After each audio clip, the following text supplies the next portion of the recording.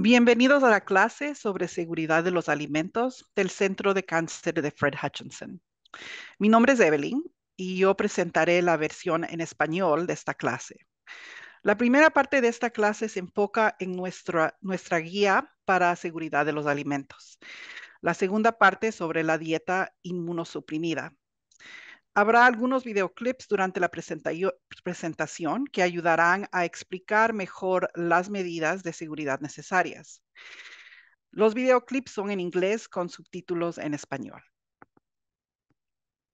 Empecemos hablando sobre el por qué es importante seguir las guías sobre seguridad de los alimentos y de una dieta inmunosuprimida. Cuando su sistema inmunológico está bajo, existe un mayor riesgo de una infección, así como hay un riesgo más alto de contagiarse de gripe o influenza cuando está alrededor de gente que tiene síntomas de esas enfermedades.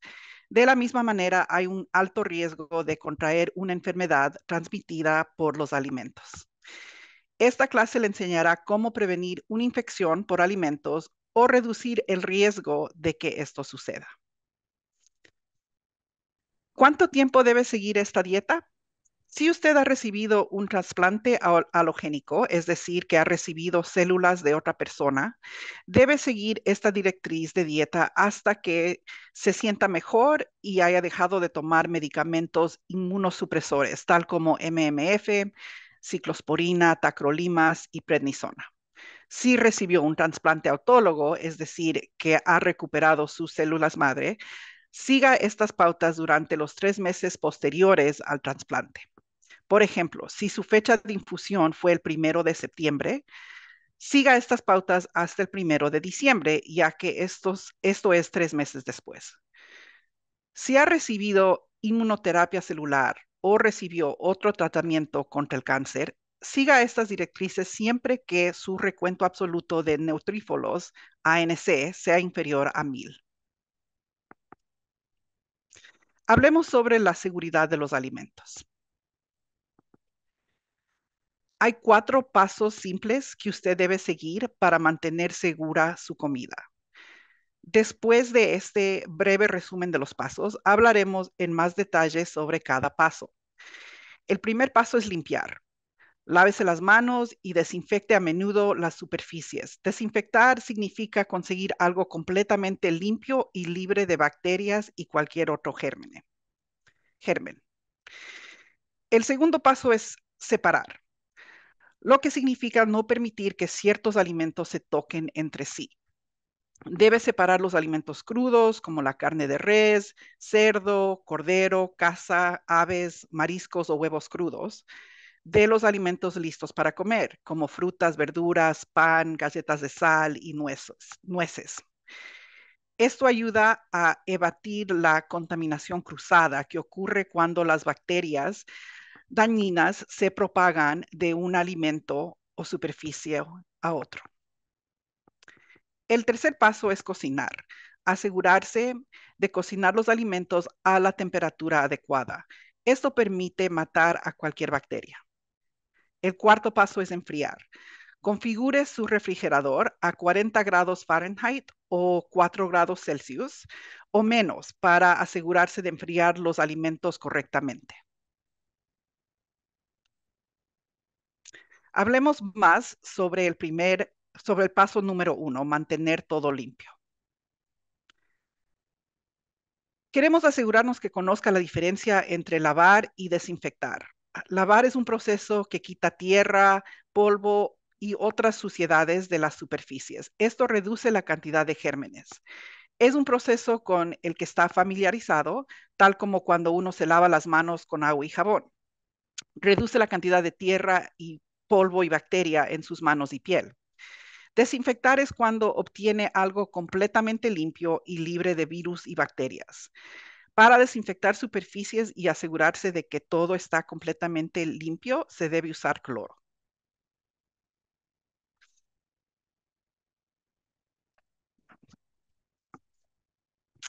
El lavado de manos es uno de los pasos más importantes para la seguridad alimentaria reduce significativamente el riesgo de intoxicación por alimentos.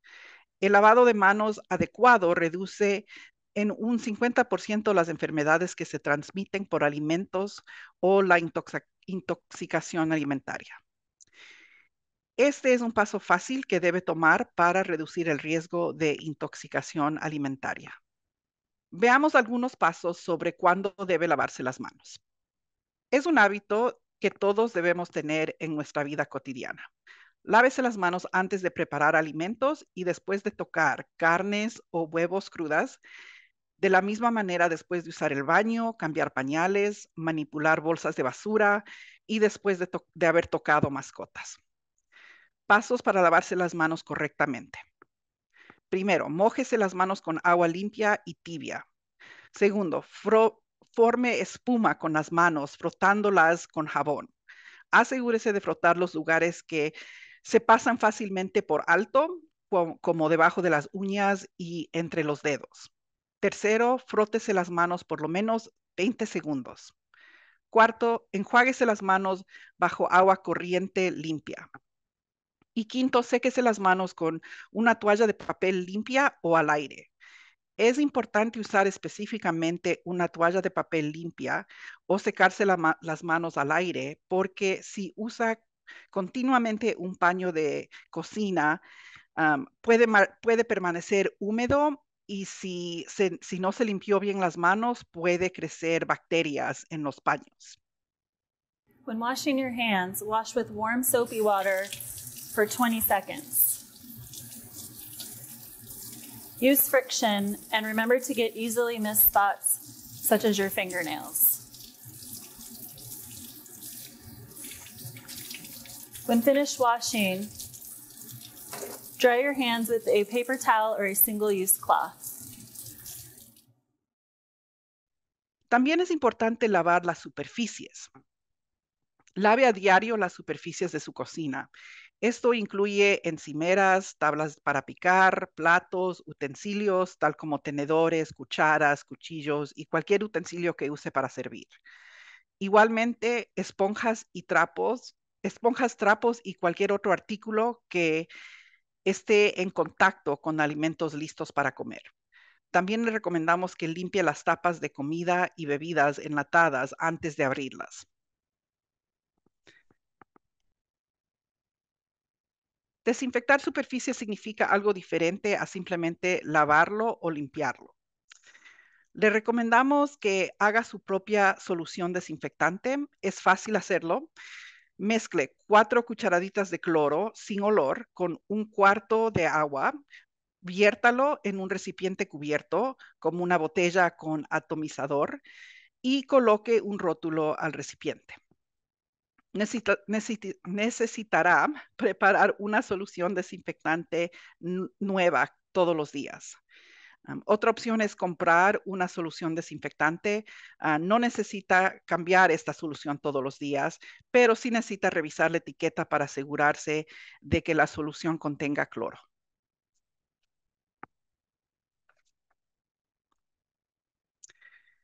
¿Cuándo debe desinfectar las superficies?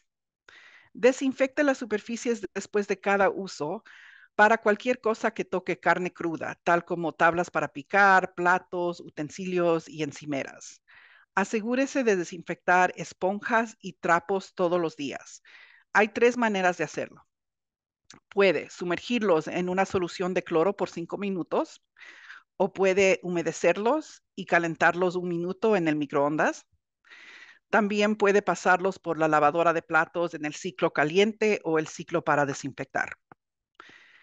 Le recomendamos que semanalmente desinfecte cualquier cosa que toque alimentos listos para comer, como tablas para picar, platos, utensilios y encimeras.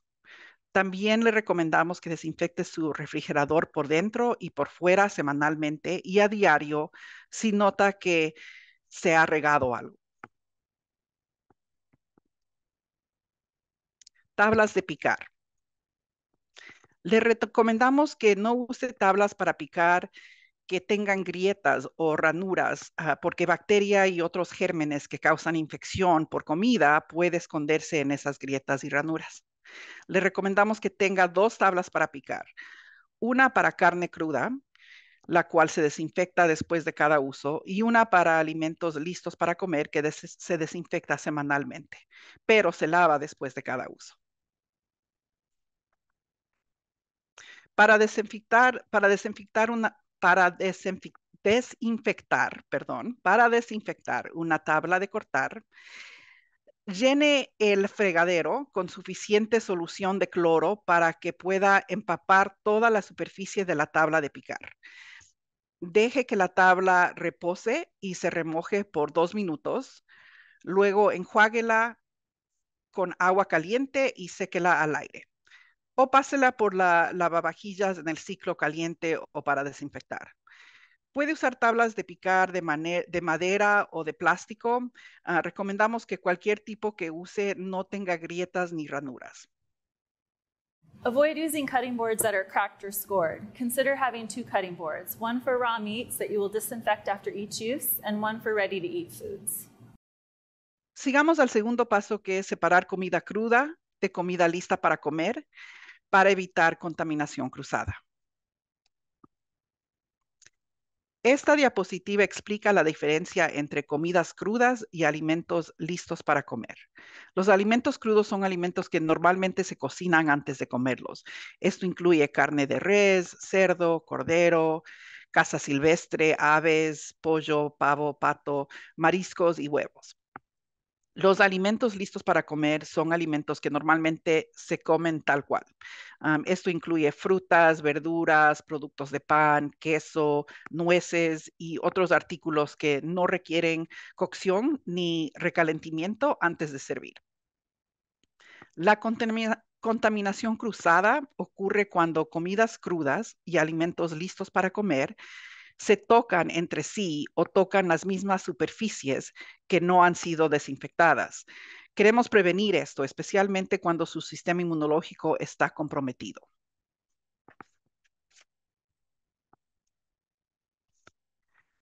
A continuación, algunas ideas para prevenir contaminación cruzada. Cuando haga compras, mantenga dentro de su carrito de compras las carnes crudas, lejos de las frutas y verduras u otros alimentos listos para comer. Ponga la carne cruda en una bolsa plástica por separado cuando empaque la comida y no use bolsas reutilizables para carne o huevos crudos, a menos que las desinfecte entre viajes al supermercado. Sanitize reusable bags that have been used to carry raw meat, fish, or eggs before each use. Otras ideas para mantener separado la carne cruda de otros artículos. Cuando esté en casa, guarde la carne cruda en el estante inferior del refrigerador. Esto es importante porque si hay una fuga en el empaque, no, no goteará sobre los otros alimentos de los que quizás no se dé cuenta. Cuando cocine, use platos separados para carnes crudas y para carnes cocinadas. No vuelva a, usar una marinada que usó en comida cruda a menos que hierva la marinada primero. Sigamos al paso 3, que es asegurarse de cocinar la comida a la temperatura correcta para evitar infección de comida. Aquí está una lista de las recomendaciones de la Administración de Alimentos y Medicamentos del Departamento de Agricultura de los Estados Unidos. Comidas que deben ser cocinadas a 165 grados Fahrenheit o a 73 grados Celsius incluyen pavo, pollo, pato entero o molido, salsas, sopas y jugos de carne, salchichas, carnes enlatadas, mortadela y otras carnes frías. Comidas que deben ser cocinadas a 160 grados Fahrenheit o 71 grados Celsius incluyen carne molida de res, cerdo, cordero y platos con huevos.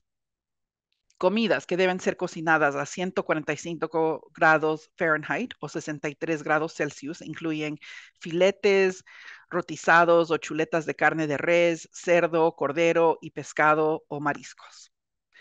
Le recomendamos encarecidamente que obtenga un termómetro para alimentos para medir la temperatura de sus alimentos. La imagen en la esquina inferior derecha de la diapositiva muestra un ejemplo de un termómetro para alimentos. Cuando use el termómetro en la carne, insértelo en la parte más gruesa de la carne para comprobar la temperatura interna. Ahora hablemos del último paso, el paso cuarto, que es asegurarse de enfriar la comida correctamente.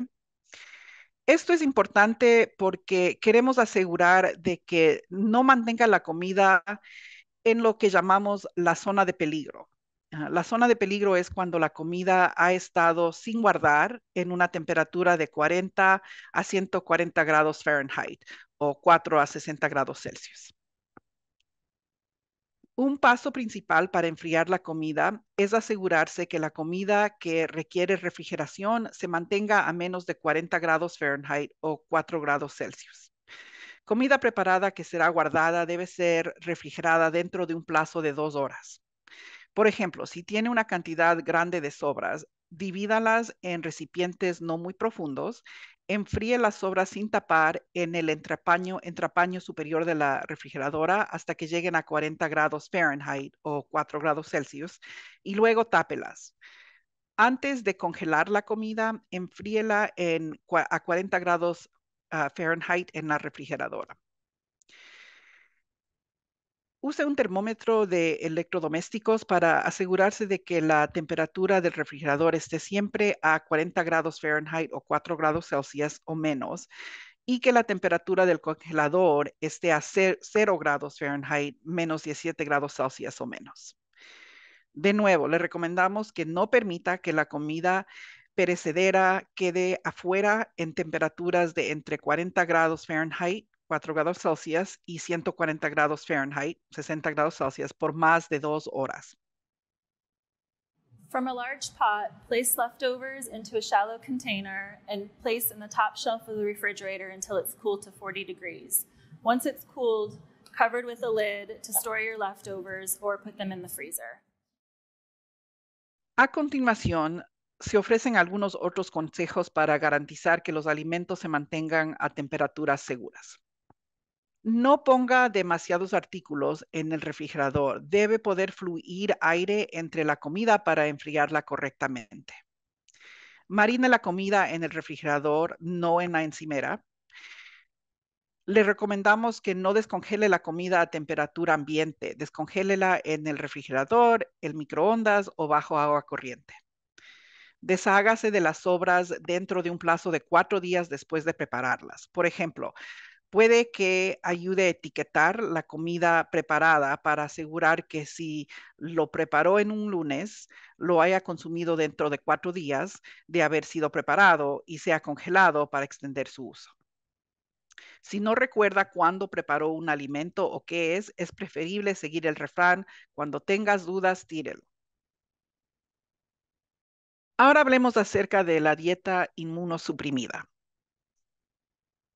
Productos lácteos. La palabra clave cuando se trata de productos lácteos es pasteurizado.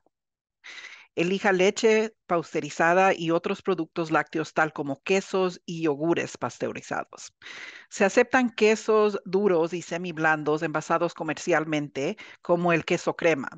Ah, también son aceptables los alimentos envasados comercialmente preparados por un fabricante de comidas autorizada el yogur y el kefir pasteurizados, si, bien tienen cultivos activos vivos, se pueden comer si están hechos con leche pasteurizada. Si compra quesos en rodajas en una tienda de delicatessen, deberá, deberá cocinar el queso. los productos lácteos que debe evitar son quesos que tengan moho, como el queso azul o el gorgonzola, Quesos que tienen vegetales crudos que no se pausterizan después de agregarlos, como el queso pepper jack. helados de máquina, helados blandos o cremosos, helados cremosos de yogur, ah, batidos hechos de helados blandos o cremosos. Carnes y sustitutos de carne.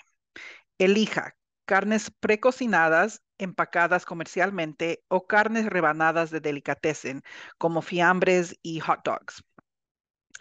Tofu cocido o pasteurizado, corte el tofu en cuadrados de una pulgada, hiérvalos durante cinco minutos y úselos para preparar cualquier plato que esté cocinando. Huevos pasteurizados puede comerlos incluso si no se cocina hasta que la yema esté firme.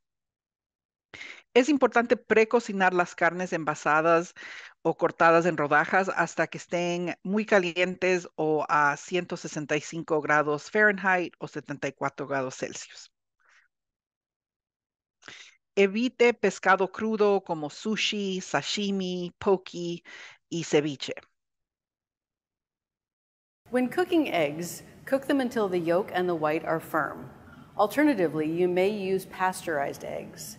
Pasteurized eggs will be labeled very clearly on the package and will have a little P stamped on the egg. Please be careful when you're reading labels. Pasteurized is not the same thing as pasture raised. For lunch meats, you may buy lunch meats either in pre-packaged or um, off of the slicer at the deli. Any lunch meats must be heated before they're consumed. Um, the way to do that is to take the lunch meat out of the package, put it on a clean paper towel, and put this in the microwave and heat it until it is steaming. You may consume the lunch meat cold as long as it has been heated first. Frutas y vegetales. Elija frutas y vegetales enteros, hierbas, hierbas de cocina y especias secas. Elija salsa y frutas que se conserva a temperatura ambiente. Uh, también se aceptan jugos pasteurizados. Evite salsa fresca refrigerada. Estas son las salsas que se encuentra en la sección refrigerada de la tienda. Brotes crudos de todo tipo. Ensaladas de tiendas de delicatessen. Frutas y vegetales precortadas, por ejemplo, un melón precortado envuelto en plástico. También evite kimchi y sauerkraut no pasteurizado. Lavar frutas y vegetales. Lave bien todas las frutas frescas y los vegetales con agua corriente limpia. Esto incluye productos agrícolas con, con, cáscara, como bananas, melones, naranjas. También es importante lavar productos agrícolas prelavados, como kits de ensalada. Use un cepillo para refregar los productos que tengan cáscara o piel firme o áspera, tal como melón, papas y aguacates. Enjuague bien las hojas de los vegetales, incluyendo la lechuga en bolsa y otras verduras como kale o espinaca. So we do allow raw fruits and vegetables to be consumed as long as they are properly washed in cold running water. For a rougher vegetable like a potato or an avocado, we ask that you use a scrub brush to give it a good scrub. For any fruit that has a peel, like a banana or an orange, we ask that you wash the outside of it before you cut into it. Smaller fruits like grapes and berries, we ask that you put those into a colander and roll them around under the water until they are clean. Leafy greens, including lettuces, should have each leaf individually washed. Bagged lettuce mixes are acceptable even if it says it's been washed already, please wash it again just to be absolutely sure.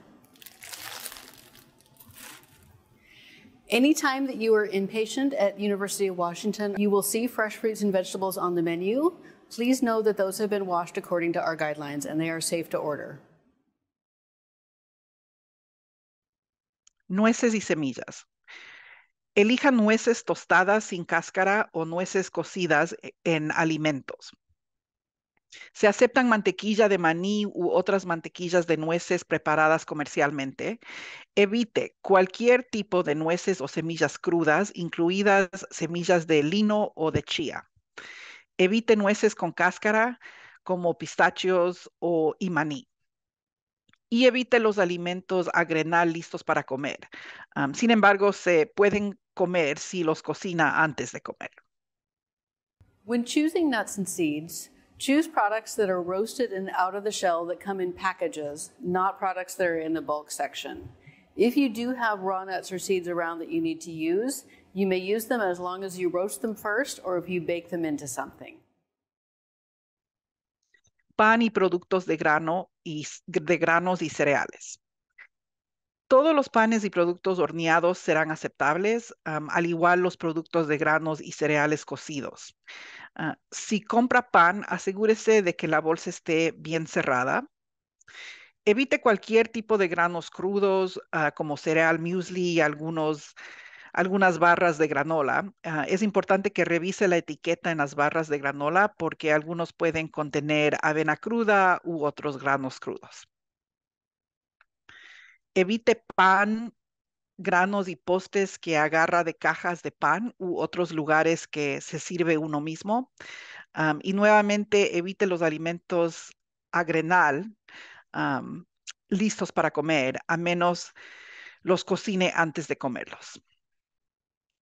When choosing bread products, please avoid any artisan bread products that are open to the public, as these may have been touched by other people. It is okay to ask for artisan breads that have been stored behind a countertop. Otherwise, we ask that you choose prepackaged bread products only. If the bread product contains nuts and seeds, these are acceptable as the baking process has essentially roasted the nuts. We do ask that you avoid any raw grain products such as muesli cereals. grasas. Todos los aceites vegetales son permitidos. Ah, manteca de cerdo, margarina y mantequilla deben ser refrigerados. Mayonesa que no necesite refrigeración, aderezos para ensaladas, aún de queso azul es permitido. Ah, conviene evitar los aderezos para ensaladas frescas. perdón, Conviene evitar los aderezos para ensaladas frescos, refrigerados y preparados comercialmente, a menos que estén hechos con huevos pasteurizados. When choosing salad dressings, the safest choices are shelf stable salad dressings that are sold in the middle of the grocery store at room temperature. These do not require, require refrigeration when they are at the store. Once you get them home and open them, they do need to be stored in their refrigerator. If you prefer refrigerated salad dressings, the type that are sold in the grocery store near the produce section, read the label carefully to ensure that it contains pasteurized eggs. If you have a salad dressing that contains unpasteurized eggs or another cheese that we don't want you to have, such as blue cheese, choose a different um, option, or better yet, go to something that is shelf stable. Comidas y sopas. Elija comidas y sopas cocidas. Se aceptan productos de miso pasteurizados preparados comercialmente. Evite productos miso hechos en casa o preparados en restaurantes. También evite cualquier tipo de sopas de autoservicios de supermercados y restaurantes.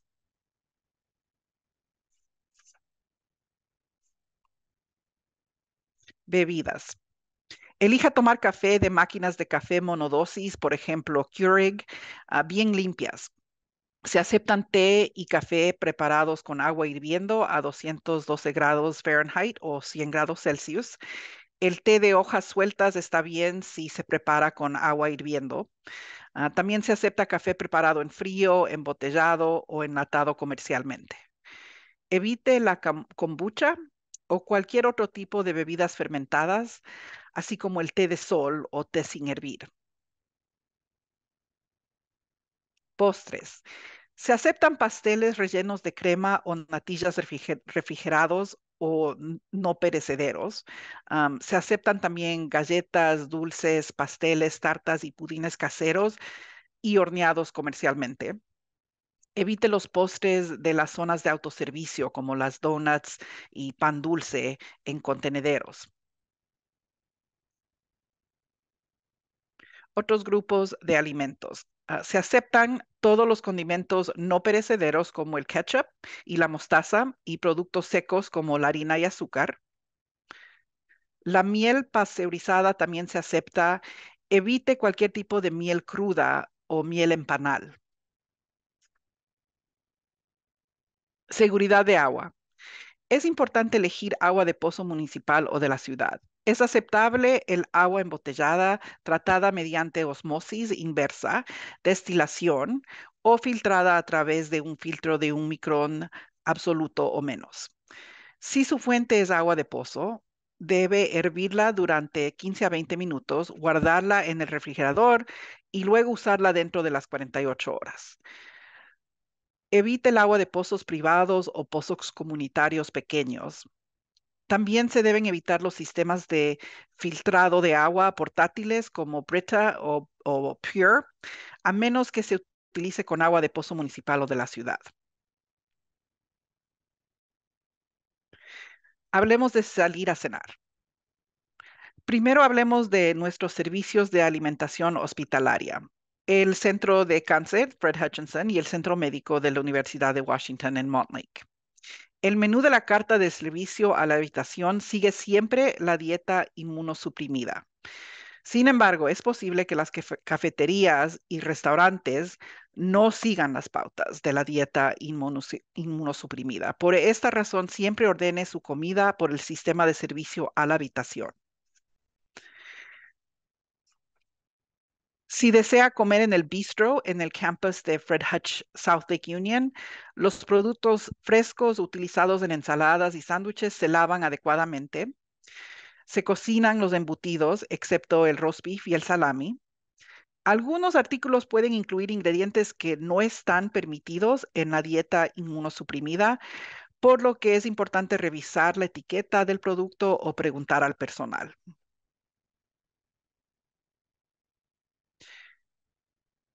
Si sale a comer, trate de hacerlo en un momento donde no haya mucha gente, como un almuerzo o cena temprano. Elija verduras cocidas, ya sea al vapor, horneadas, salteadas, asadas, a la parrilla o hervidas. La fruta horneada también es apropiada, ah, como en una tarta o un pastel. Evite cualquier tipo de frutas, verduras y ensaladas crudas.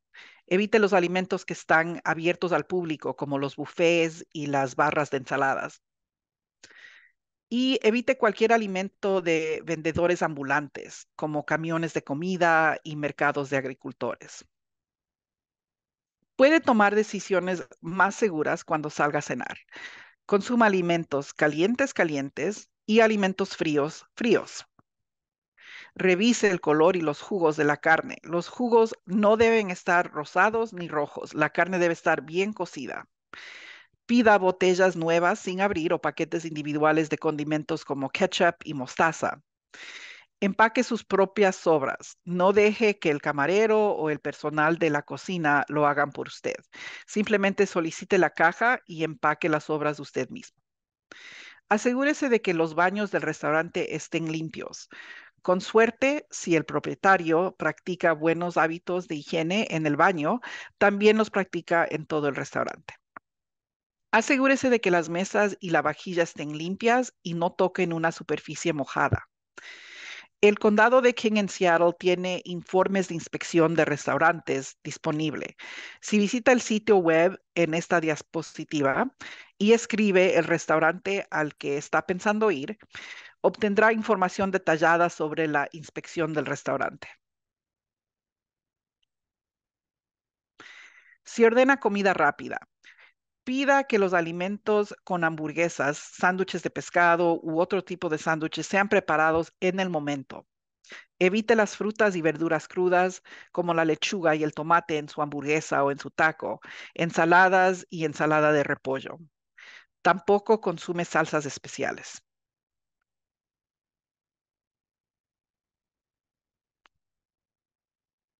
Si desea volver a ver este video, puede hacerlo en el sitio web de Fred Hutchinson que aparece aquí en esta diapositiva.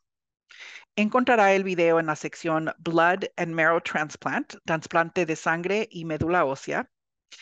También puede encontrar muchos otros videos educativos para el paciente en este sitio web. Si tiene alguna pregunta o necesita más información, comuníquese con el dietista de su equipo. Gracias.